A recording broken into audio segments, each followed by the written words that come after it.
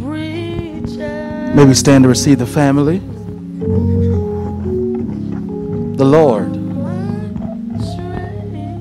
my light and my salvation. Whom shall I fear? The Lord is the strength of my life. reaches to me. Whom shall I be afraid? You are my peace.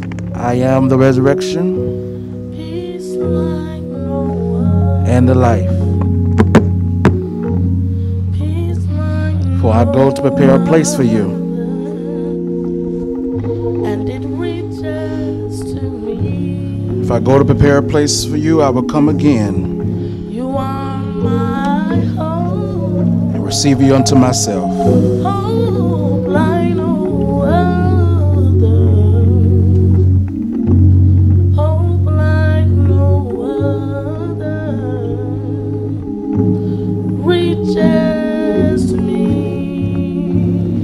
My, my,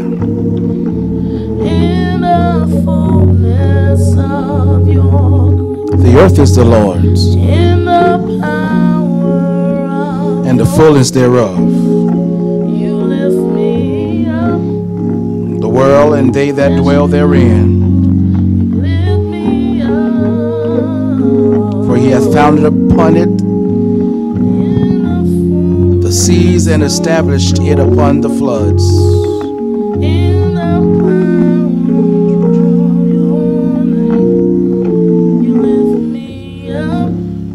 Shall ascend into the hill of the Lord? you lift me up. Or who shall stand in his holy temple? In the fullness of your He hath in the power clean hands, pure heart, you lift me up, who hath not lifted upon his soul unto vanity, you lift me up. nor sworn deceitfully. You are my love, He that dwelleth love the secret place of the Most High shall abide love like no under the shadow and it reaches of the Almighty. me. You are my peace. I will say unto the Lord, He is my refuge and my fortress, Peace like no other. my God, in him I will trust. And it reaches me Surely he shall deliver in the fullness of your grace. Yes, he shall deliver.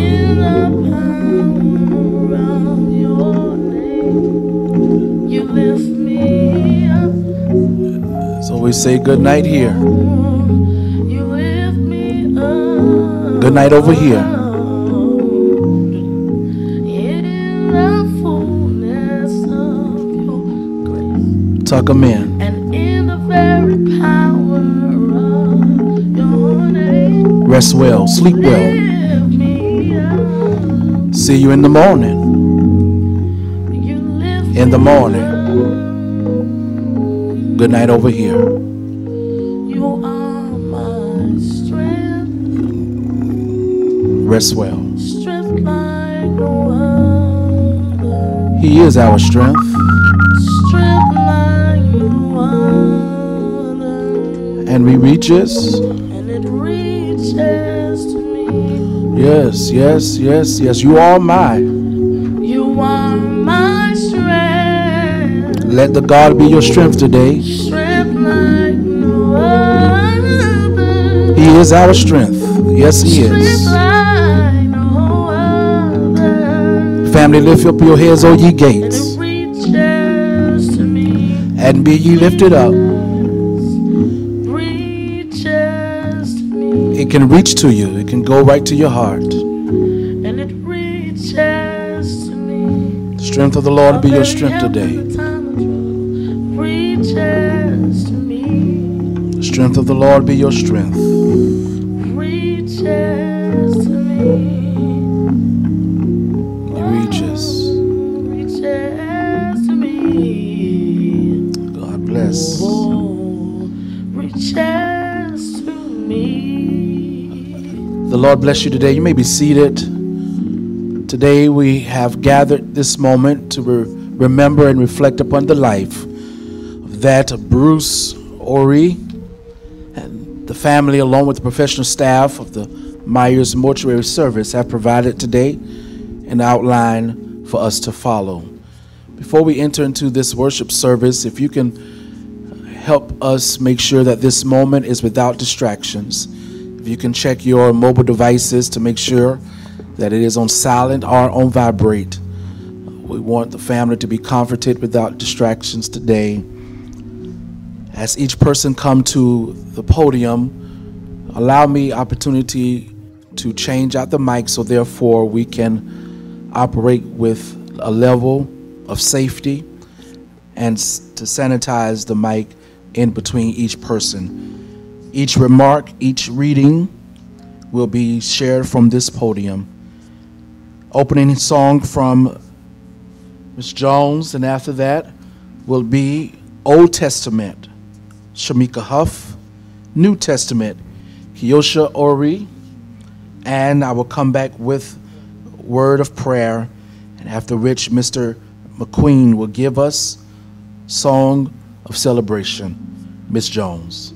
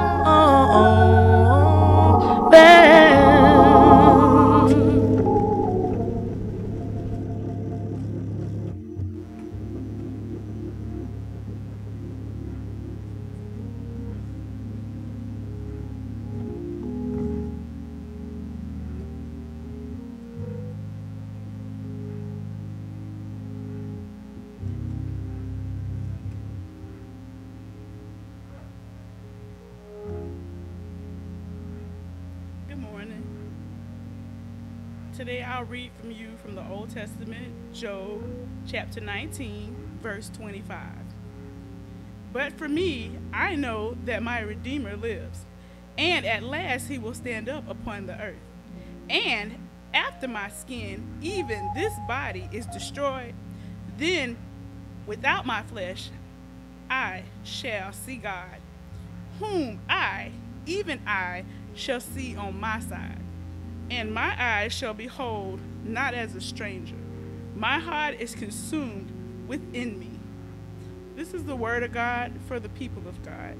Thanks be to God.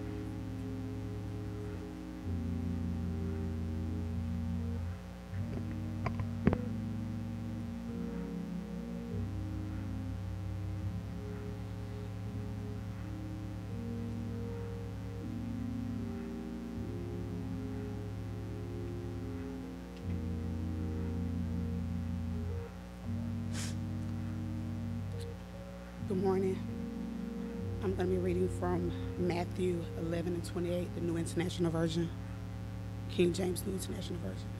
And the word reads Come to me, all you who are weary and burdened, and I will give you rest. Take my yoke upon you and learn from me, for I am gentle and humble in heart, and you will find rest for your souls. For my yoke is easy and my burden is light. Thank you.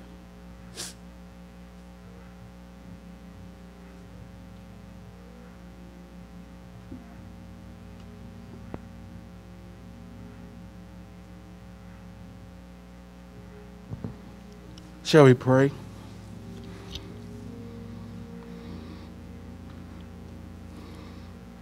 By and by, when the morning come, when all the saints of God have gathered home, we will tell the story of how we overcome. And we'll understand it better by and by. Fathers, in the name of Jesus, we come before the throne of grace, humble but yet boldly today. And God, before we ask you for anything, we thank you for everything. Thank you for this moment that you knew about before the foundation of the world. Thank you for the years and the memories and times that this family have had with their loved one. Thank you for the conversations, the time of laughter, the time of joy, the time of tears, the time of visitations. We thank you for those moments that this family has had with their loved one. Because in just a few days from now, they would need those moments to help them through the moments of tears, through the moments of bereavement. God, we thank you for your son Jesus for dying on Calvary's cross for us. For without the shedding of blood, there would be no remission of sin. We thank you because if we have received you, then we will forever be with you. And God, I pray that in this moment that you wrap your arms around this family. Let them know that earth has no sorrow that heaven cannot heal. And God, and when the phone calls have ceased, the visitations are no more. Will you remind them that you said in your word that I'll never leave you, neither will I forsake you. And God, you are the God that can wipe and will wipe all tears from our eyes. And God, when you do these things, we won't take any credit, but we'll say, To God be the glory for the great things that you have done. It's in Jesus' name we do pray. Amen. Let's be comforted with a song from McQueen.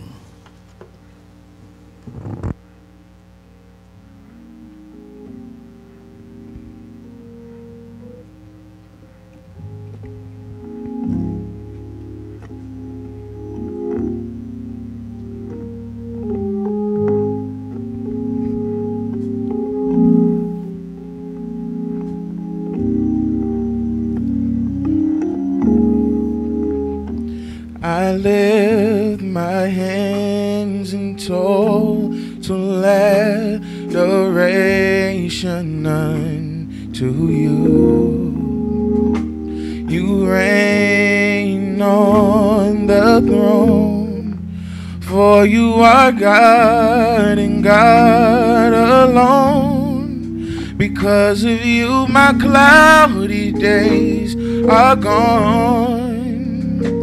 I can sing to you this song. I just want to say that I love you more than anything.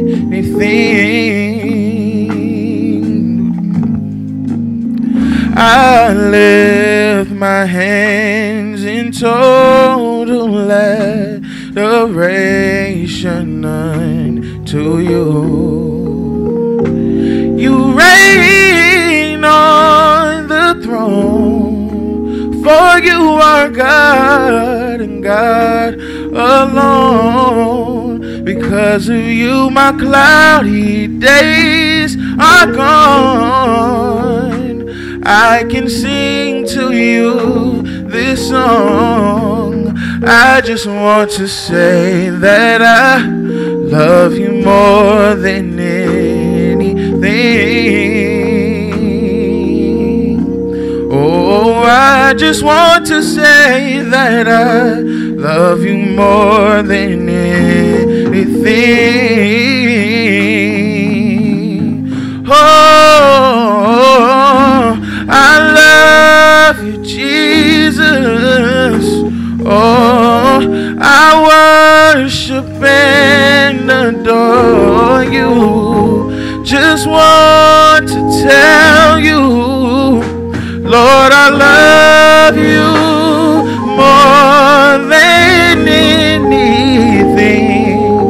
Oh, I love you, Jesus.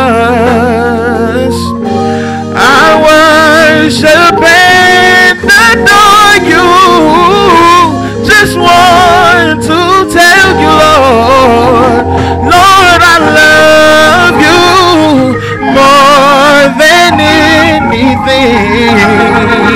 Oh, I love you, Jesus. Oh, I worship and adore you. Just want to tell you, Lord, I love you. Yes, I love you. Yes, I love you. Yes, I love you more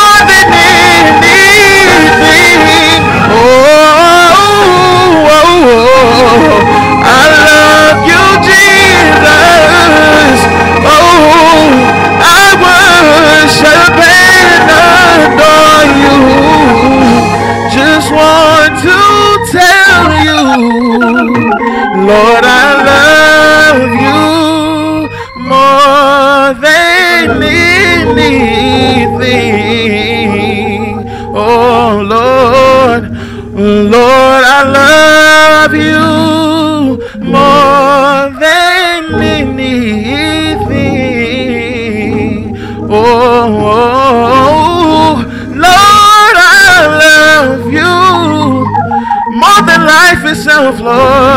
than anything. Oh, oh, oh, Lord, I love you more than anything. Oh.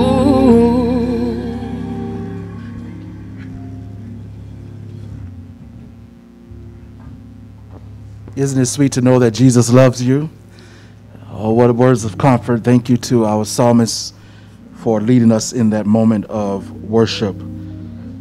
Two minutes have been asked for reflections and remarks. Miss Juanita Frederick will come, after which Miss Kiosha Oree will come again with remarks. Let's receive them at this moment.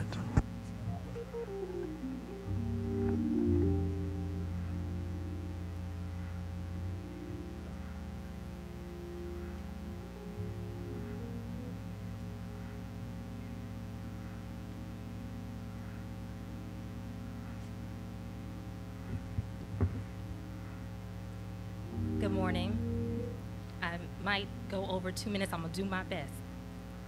Thank you. I am Juanita, known to our family as Nini. Bruce was my second cousin. When Bruce moved back home to Columbia, I got to really hang out with him. When I would come home to visit, I would go and chill with Bruce, his sister Geraldine, and his mother, Aunt Louise. Bruce would give me the most recent update on Aunt Louise since my last call. Bruce was an attentive son and a regular old brother that sometimes liked to tease his sister. Bruce would ask me how life was going for me, and he would always stress safety while I traveled between South Carolina and New Jersey. He shared with me his experience briefly living in uh, New Jersey, in Paterson, New Jersey, with his dad as a little boy, which I never knew. He had me cracking up at that story. He was a man that could tell a story, and he topped his story off with that big Oree laugh. When Bruce moved into the nursing home, we continued to hang. I would take him a home cooked meal that I did not make, which he raved about. He loved when he saw home cooked food come in the door. Bruce would ensure he said thank you, and his thank you was always big and warm. We would watch TV. We would talk about talk shows, different TV series, actors, and commercials. These were the days that I discovered Bruce loved commercials. There was a little baby that he thought looked like me, and he said, That baby reminds me of you. And he would always mention a movie, and he would say, You could have played that role. I think Bruce could have been a great casting director. He would talk about his childhood in Columbia, what activity he might have done that day, and tell me what was on the menu for the day. And he did his normal, asked how my life was going, how long I was staying home this time, and he wished me safe travels. In the past few months, I wasn't able to go into the nursing home due to the lockdown, but he and I checked in with each other. A few weeks ago, I dropped off dinner with pork chops, and he called later and he said, Those pork chops were good. They were seasoned well. Thank you. I was in a virtual play and Bruce was in the audience. The day after, Bruce called me and said, I watched the play and it was good. It was too short. I think y'all should do a serious play. Y'all could play them for nursing homes. They have the equipment. I thanked Bruce for his support and laughed, and I told Bruce that the writer told another audience that there should be more virtual plays for people that are unable to go to the theater. I told him I would give the writer his notes, and I did. She was happy to take Bruce's notes, and she smiled about how they agreed that there should be more virtual plays. Now I felt Bruce could have been a producer and a casting director. I called Bruce while he was most recently in the hospital. On that day, his voice was clear and he was not congested. I'm thankful that we had that conversation. This past Sunday, it just so happened that I was in the middle of telling my family about the advice Bruce gave me just a few weeks ago. And that's when the phone rang saying he transitioned. That coincidence of talking about Bruce and the phone ringing gave me a peace that Bruce is resting and is now one of my angels. Today I am saying a loving thank you to Bruce for being the supportive, concerned, and loving cousin that he was to me, and we have all now gained an angel. Thank you.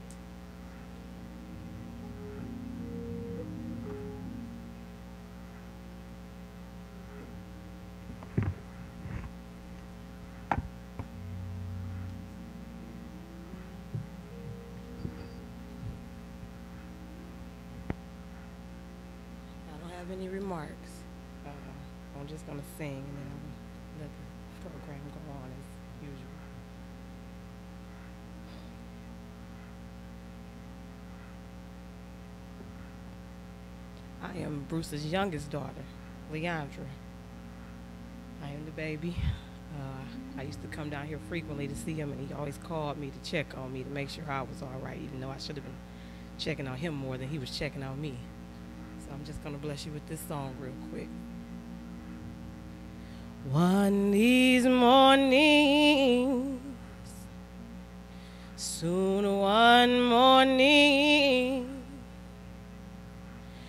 gonna lay down my cross, get me a crown. Soon one evening,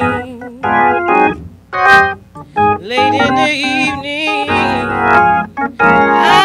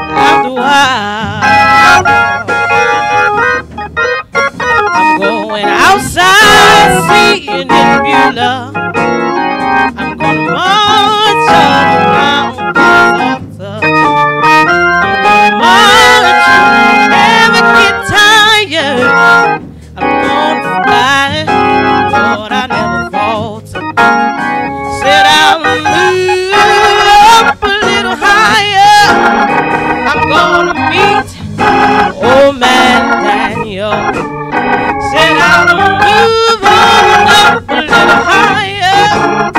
I'm gonna meet the Hebrew children.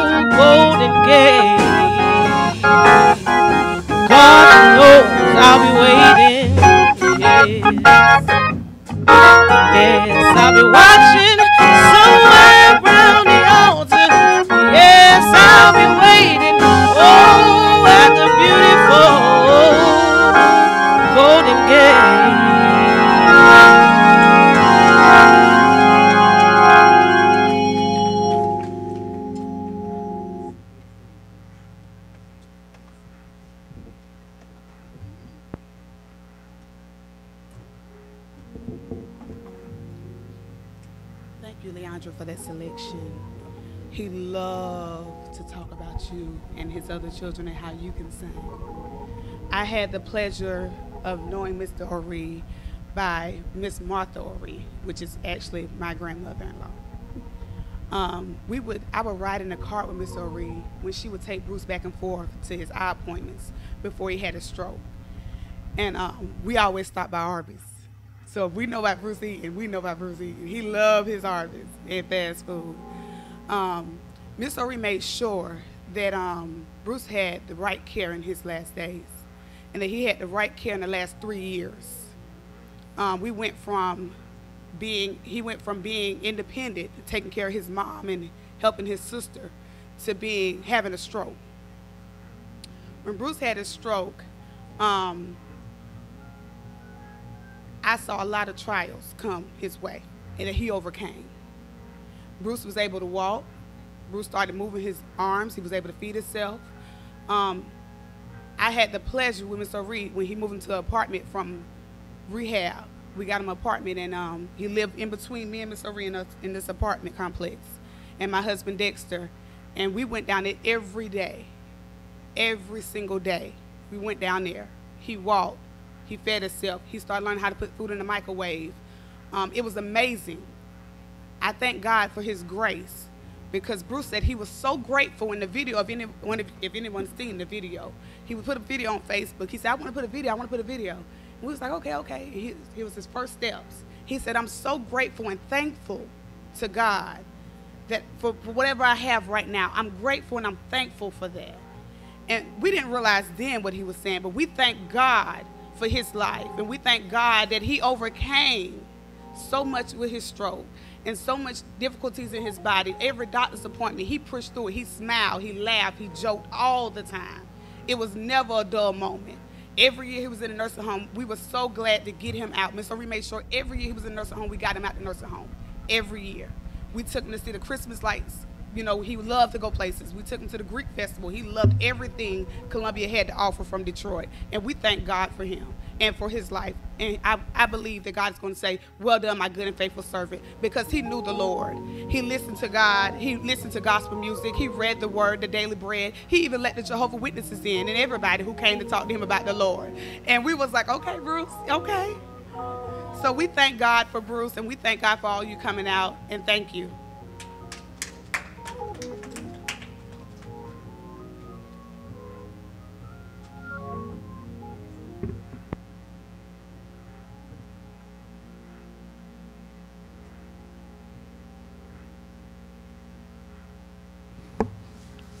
You're the daughter? You sound churchy in here. And because of that, this is a worship service. I believe it's appropriate that we give the Lord a hand clap of praise. Uh, I say, let's give the Lord a hand clap of praise. He's worthy to be praised. To all participants and to those who have shared reflections, to our music and musicians, God is good. Even on a bad day, He is still a good God. I say that on a bad day, He is still a good God.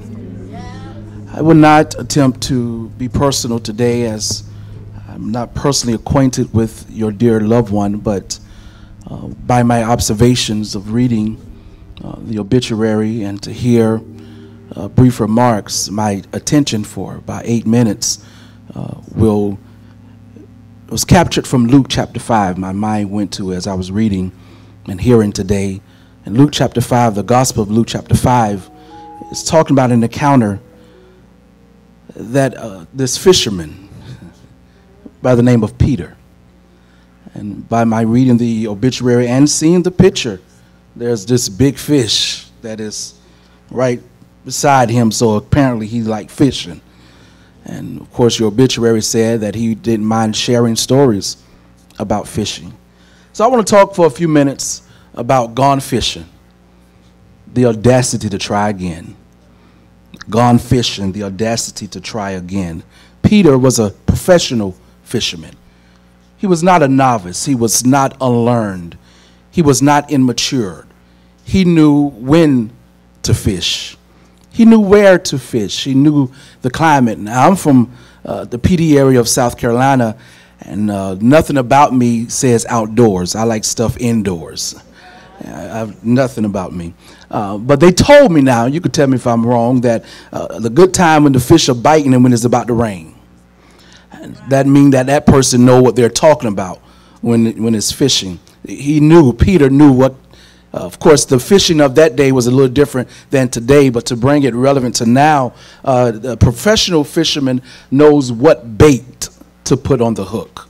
Uh, they know uh, the current of the waters, the ripples of the waves, to know where to drop their line. But in this particular encounter in Luke chapter 5, as professional as Peter is in his particular contemporary, he had a stump that night. There was no success. And no matter how professional he was, no matter how uh, a veteran he was, this particular time he caught nothing. Can I tell you, family? I know that we all have tried to do our best and will do our best, but sometimes we miss the mark. I know that oftentimes we have have our education and we have saved money, but life has a way of happening. Is there anybody who has had life just happen to you? You planned for one thing and something, but you didn't plan for that. You you, you got uh, you got your car fixed, and then after the car got fixed, one of the kids got sick, And after the kids got sick, the refrigerator went bad. After a while, things called life just happens. And that's that's what happened to Peter that night. He had he had his guys with him and, and, and they caught nothing, no matter how trained they were, no matter how many loved ones you had to say bye before, how many family reunions, how many grandmothers or aunties and uncles. I don't care how sick a person was. When the time of death come, you were still not ready. I don't care if the doctor said get all the family around. They had only they're not going to make it through the night. But when that moment come, you're still not ready. Peter, Peter did not catch anything that night. So they came on the shore in Luke chapter 5 and they were washing their nets. Now, it's kind of interesting if if uh, if they didn't catch anything, why were they watching washing their nets? It's kind of oxymoronic to me that uh, if the scripture said that they didn't catch anything and when they got to the shore they washed their nets, why were they washing their nets if they didn't catch anything? Well, this is my uh, uh, my illustration of that. I don't think that uh, they was washing their nets because they didn't catch anything. They were washing their nets because what they caught was what they were not there to catch. You know, when you have a net and you throw a net out, uh, they went there to catch fish. But I believe as they drew the net in, they picked up some trash. As they drew the net in, they picked up some shells. As they drew the net in, they picked up some baggages from the past. Is there anybody in here that you cast your net and when you brought it in, you picked up some things uh, that you did not plan to catch? So, all of us, as we come now to the end of this year, we might need to wash our nets. We might need to wash our nets from some Facebook friends. We might need to wash our nets by deleting some people out of our cell phone. We might need to wash our nets by not inviting some people to the cookout. Because sometimes you'll catch some things that you didn't plan for. And there's a man by the name of Jesus. Jesus walks up on them washing their nets.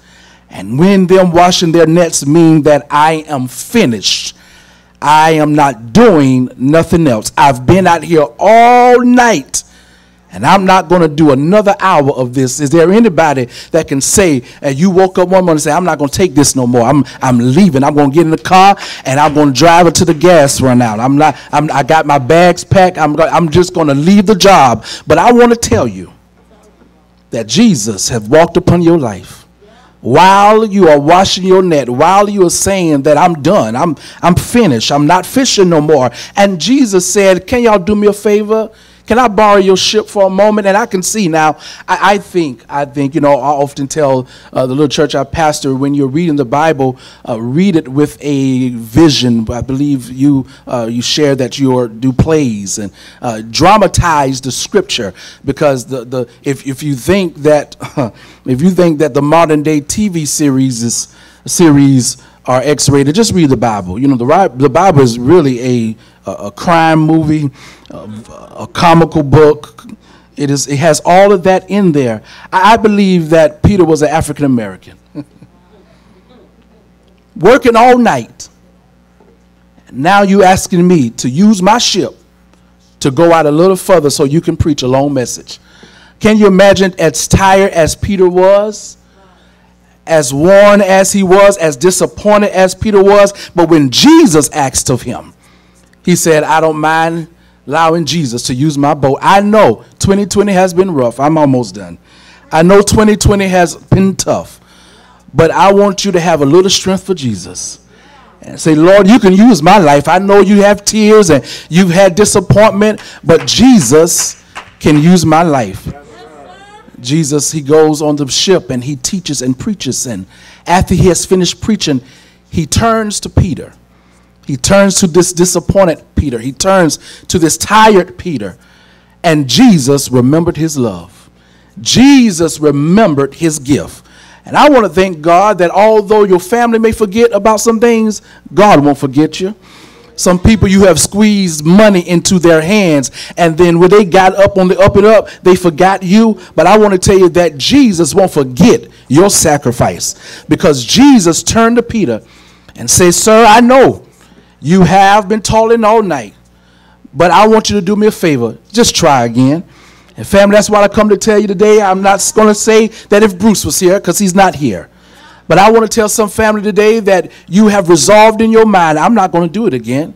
I'm gonna close up the business. I'm not gonna try it. I'm not gonna do. I'm not gonna sing another song. I'm not gonna do another play. I'm not gonna. I'm not gonna cook another cake. I'm not gonna fish again. But I want to tell you to have the audacity to try again, because if you try again, this time it's gonna work. And the Bible said cast your net out and throw it back into the water. Throw it back into the same place that you tried the last time. God, why can't I go across town? Why I can't go to LA? Why I can't go to Atlanta? Why I can't go to DC? Because the God of Atlanta is the God of South Carolina. The God of the mountain is the God of the valley. The God of joy is the God of sorrow.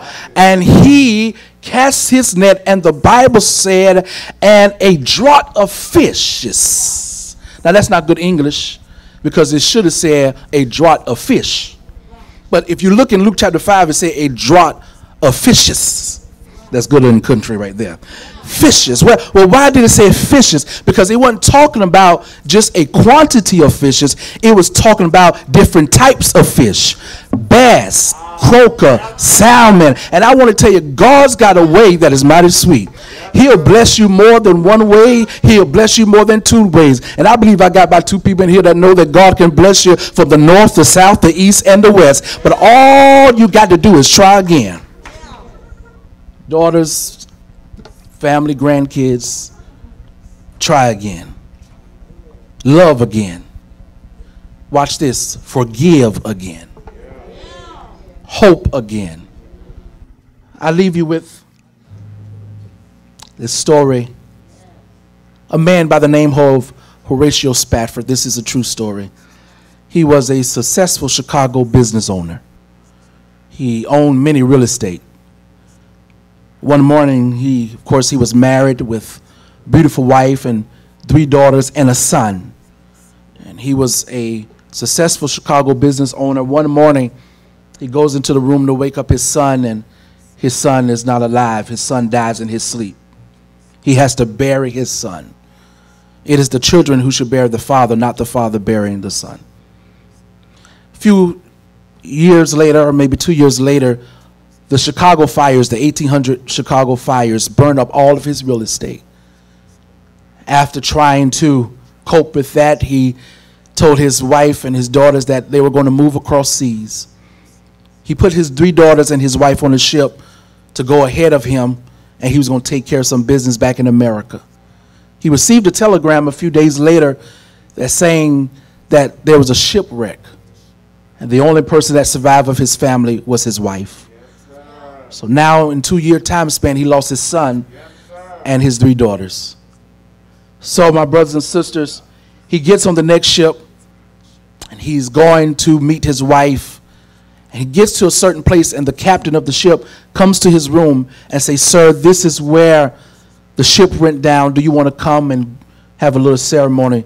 Horatio Spafford goes to the bow of the ship, looks down in the water, tears in his eyes.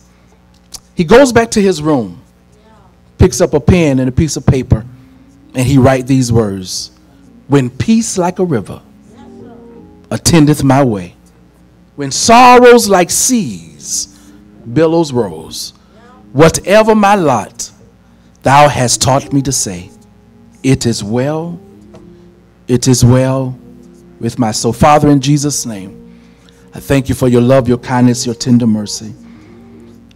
I pray that something was said to comfort this family today. As they say their goodbyes over here, there is another crowd that's saying hello on the other side, where the wicked have ceased from troubling and the weary is at rest. It's in Jesus' name, amen.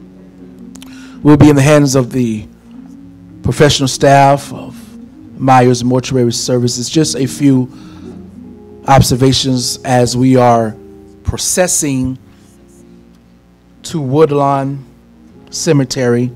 If you can cut on your flashers and your low beams and follow as closely as possible as we are crossing intersections, we're going to ask you to look to your left and your right still. So, therefore, we all may arrive safely at the Woodlawn Cemetery 10 215 Farrow Road, Blythewood, South Carolina. We're in the hands of the staff of Mortuary, Myers Mortuary. After the singing of this precious dear heart, Miss Shayla Jones, we will be in the hands of the staff.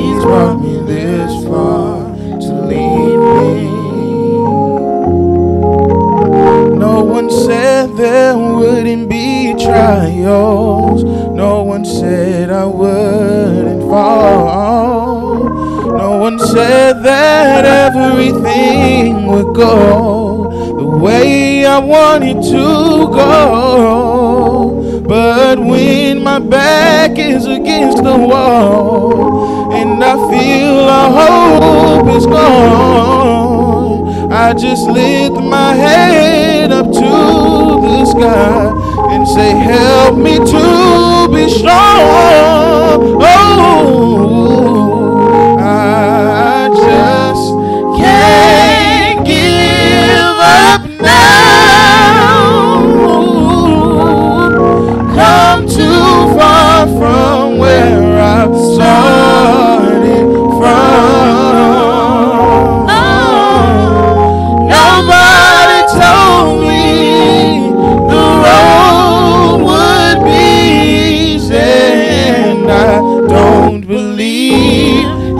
brought me this far to leave me.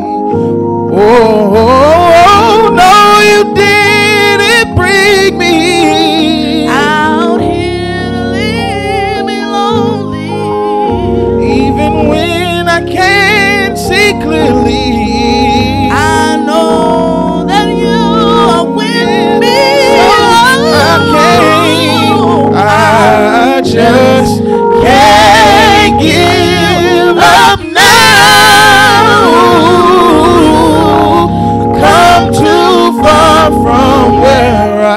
started from.